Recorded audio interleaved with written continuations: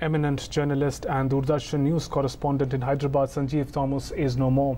He was 59 years old. He was suffering from kidney related problems for the past few years and breathed his last at Nizam's Institute of Medical Sciences in Hyderabad during the hours. He began serving the public broadcaster as a news correspondent since 1986. During his long stint with Doordarshan, he gave insights to viewers about innumerable political, social, and economic developments of international, national, and regional importance. He is well known for his objective stand and unparalleled comment over the political and social developments of the region, which he served for over three decades.